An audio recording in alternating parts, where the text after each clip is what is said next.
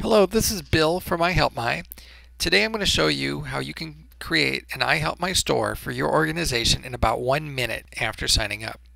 First, go to the iHelpMy.org website. From there you can click on Login. As you might recall, we have two different types of logins for iHelpMy. One is to track your earnings and the other is to configure your store. Here we want to configure the store. Click on that and then we enter in our username and password and log into the site.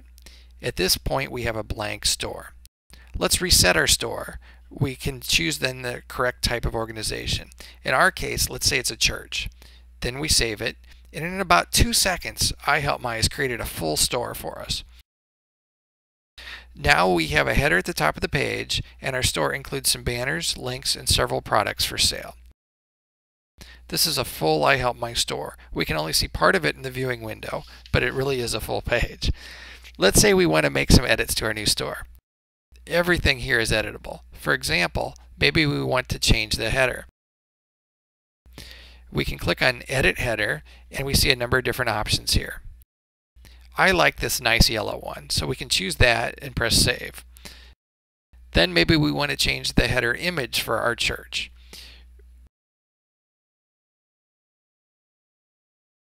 Let's see, this would be a good image. So let's choose that and save it.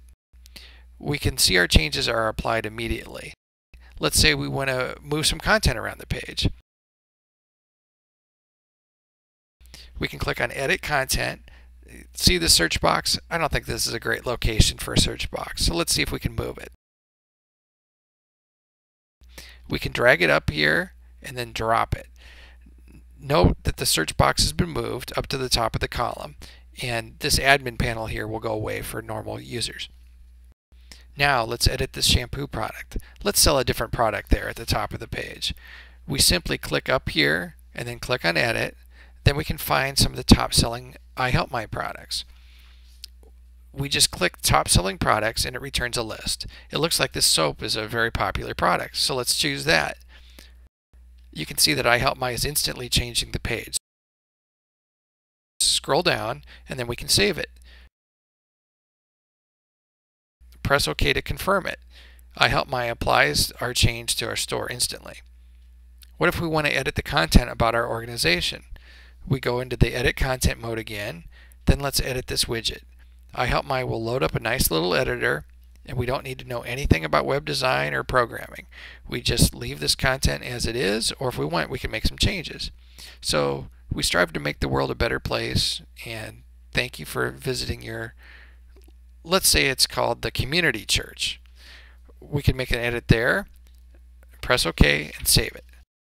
Note that the About Us box is already changed. So far, I've shown you how to create a store template in just a couple seconds, and then quickly how you can move things around the page and edit your iHelpMy store. Next, I'm going to show you one more editing thing, and then I think we're, we're pretty much done with the editing part of the demo.